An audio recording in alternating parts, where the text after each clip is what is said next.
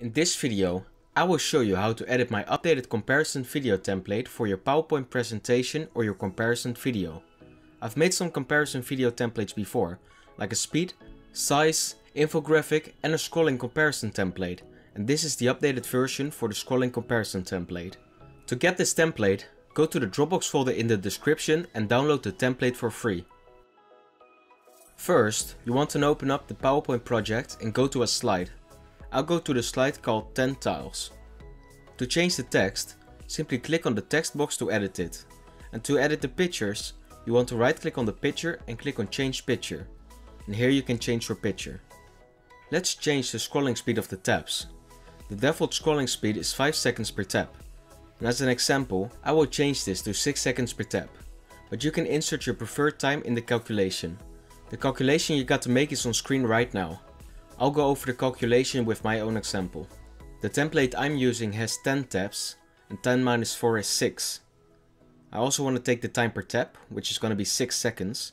So 6 times 6 equals a total time of 36 seconds.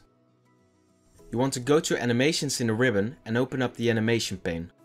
Click on the first animation with a blue bar behind it, hold shift and click on the last animation with a blue bar behind it.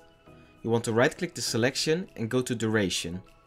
Here you can change the duration to the total time, and in my example 36 seconds. Now click on the side of the animation pane, hold your mouse and drag it all the way to the left, so that the animation pane gets bigger. The first 8 green animations should be untouched. You want to click on the 9th animation and here under delay you want to put 4 seconds plus time per tap, So in my example that would be 10. The animation under that, the 10th, you want to have the same delay as the previous animation. And now you've created an animation pair. The animation under that will start a new animation pair. You want to have the delay of the animation pair before that, plus another time per tap, And in my example, that will be 16. The animation under that will have 16 seconds as well. This way, you want to create animation pairs like I'm doing on screen.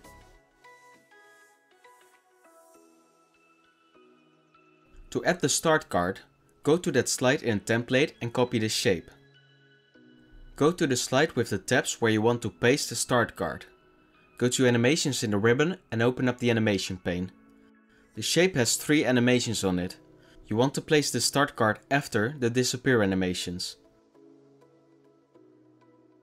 For the end card, you copy the end card from the slide in the template and paste it in the slide with your tabs. In the animation pane, you right click on the first animation of the end card and click on start after previous.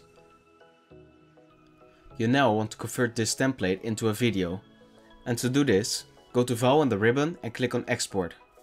Here, you select Create a Video select 4K Ultra HD video and click on create a video. And there you have it. I hope this video helped. If you have any questions, leave them down in the comments down below and there's also additional information in the description as well. Consider subscribing and I will see you next time.